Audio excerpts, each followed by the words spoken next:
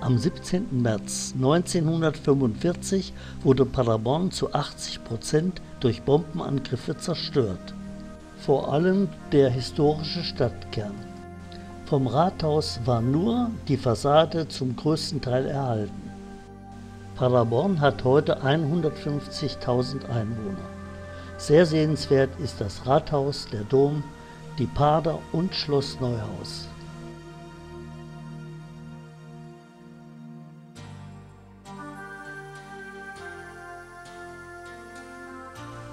Das ist die Fußgängerzone.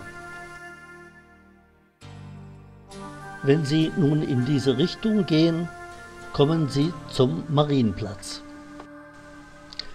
Diese Statue zeigt die betende Mutter Gottes, darunter Figuren des heiligen Liborius, Karl des Großen und Heinrich des Zweiten.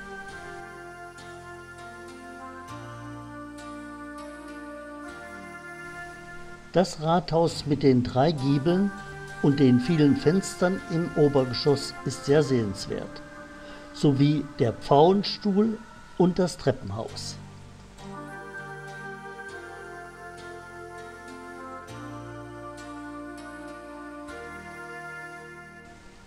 Gehen Sie dann links aus dem Rathaus zur Marktkirche.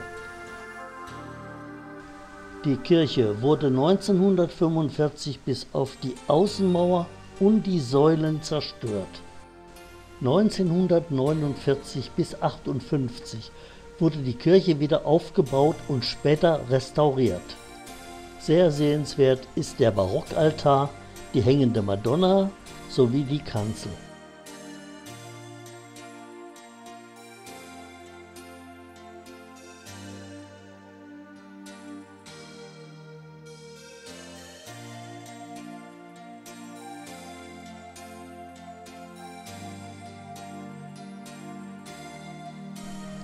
Gehen Sie nun zurück zum Rathaus, am Rathaus vorbei, rechts in die Gasse zum Schildern und dann sehen Sie schon den Domplatz. Der Dom wird zurzeit restauriert, sieht dann aber so aus mit seinem Vierziertürmchen.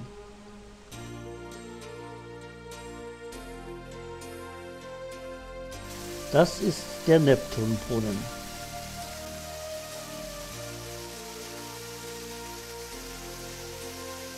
Der Domturm ist 92 Meter hoch. Die über 100 Meter lange Dreischiff-Hallenkirche hat zwei Querhäuser. Der gotische Gesamteindruck ist nicht wesentlich verändert. Der Eingang zum Dom ist sehr sehenswert mit dem Paradiesportal.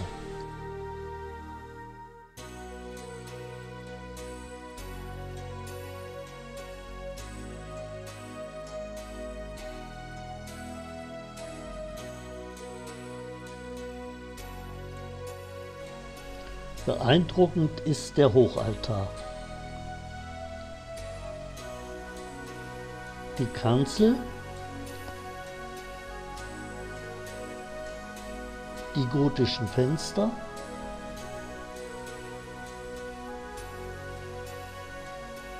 die Orgel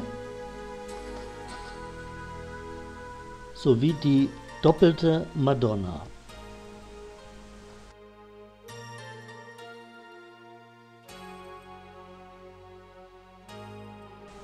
Das ist das Grabmal des Fürstbischofs Dietrich IV. von Fürstenberg.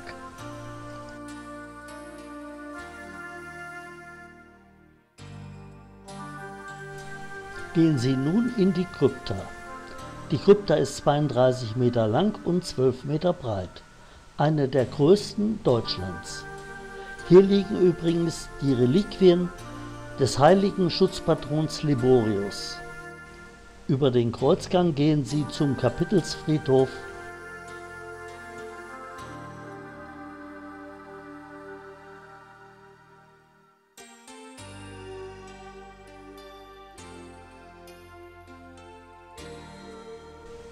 Über dem Pfauenbrunnen finden Sie dann das Dreihasenfenster. gehen Sie zurück zum Kreuzgang.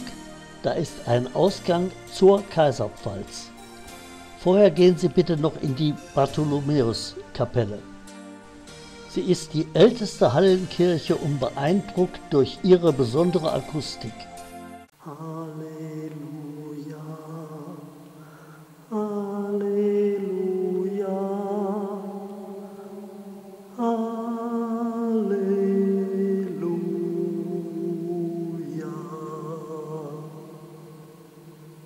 Direkt daneben ist die Kaiserpfalz. Die habe ich nicht aufgenommen, weil die zurzeit renoviert wird. Gehen Sie dann um den Dom links herum, eventuell zu dem Domcafé oder in dieses Museum. Von da aus gehen Sie dann in die Gaukirche gegenüber von dem Café. Die Kirche ist auch 1944-45 durch Bomben zerstört worden. Nun einige Innenaufnahmen von der Kirche.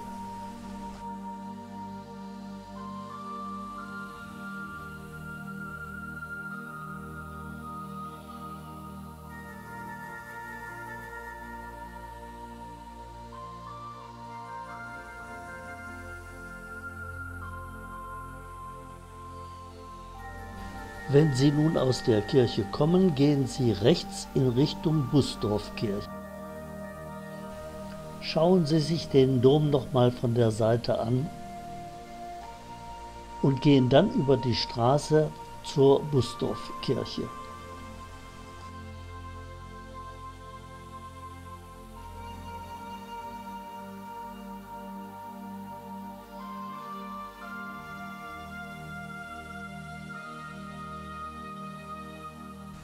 Das ist die Busdorfkirche.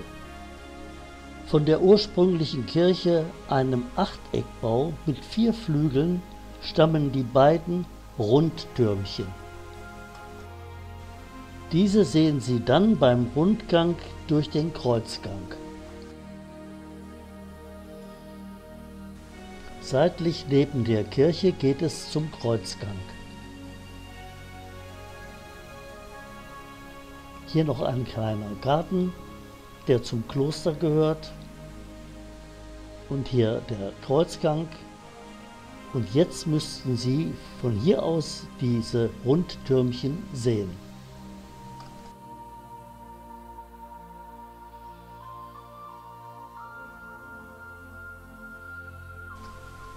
Danach gehen Sie dann wieder in Richtung Dom. Am Dom vorbei am Kaffee vorbei, am Ende rechts circa 50 Meter und dann wieder links. Jetzt sind Sie an der Abdinghoff-Kirche, eine evangelische Kirche. Sie steht direkt neben den Paterquellen. Eine einfache, schlichte Kirche.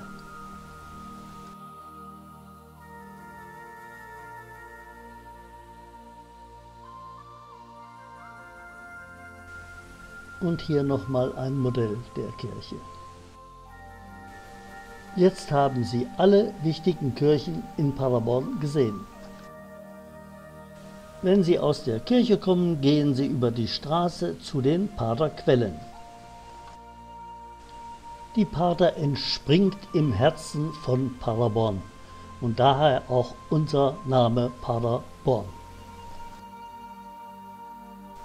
An dem Kribbeln des Wassers kann man sehr gut sehen, wie viele Quellen hier ihren Ursprung haben. Es sind ca. 200 Quellen und aus denen kommt pro Sekunde 5000 Liter Wasser. Die Quellen gehören zu den stärksten Quellen Deutschlands. Die Pater fließt jetzt durch mehrere Kanäle zu einer Mühle.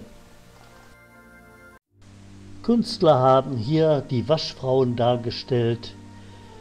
So wurde früher wirklich die Wäsche gewaschen. Hier auch noch ein Gärtner und der Gänsehirt, der hier verewigt wurde.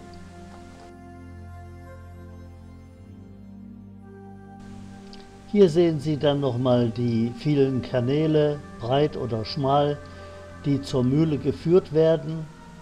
Und hier haben wir noch ein, eine Schleuse, die für Anschauungszwecke geschaffen wurde. Hier ein Mühlenrad. Hier wird dargestellt, wie Kraft von Wasser übertragen wird. Nochmal ein Blick in die Parkanlage der Pader und dann gehen Sie in Richtung Mühle. Rechts weiterlaufen an der Mühle vorbei, dann über eine kleine Brücke und dann geht es wieder rechts in einen Weg rein. Dann kommen Sie zur Bibliothek. Rechts sehen Sie nochmal den Dom und dann gehen Sie links über diese kleine Brücke und halten sich dann links. Danach sehen Sie wirklich schöne alte Fachwerkhäuser. Direkt neben den Häusern finden Sie dann das Adam und Eva Haus. Heute ist das ein Museum.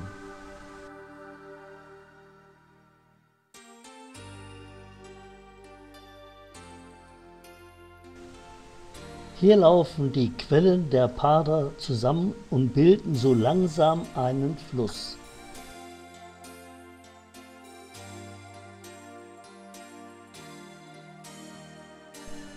Die Pader ist der kürzeste Fluss Deutschlands, nur vier Kilometer lang. Er fließt in die Lippe, erst in den Padersee und danach nach Schloss Neuhaus. Und da fahren wir jetzt auch noch hin. Schloss Neuhaus ist ein Stadtteil von Paderborn und hat hier auch schöne alte Fachwerkhäuser.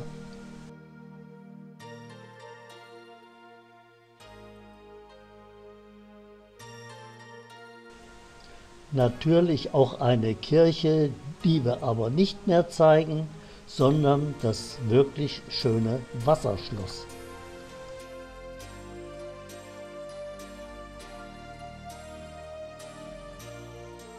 Ein Wasserschloss ist natürlich mit einem Wassergraben umgeben.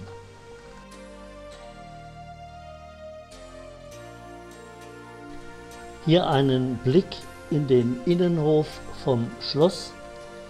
Heute ist hier eine Realschule untergebracht.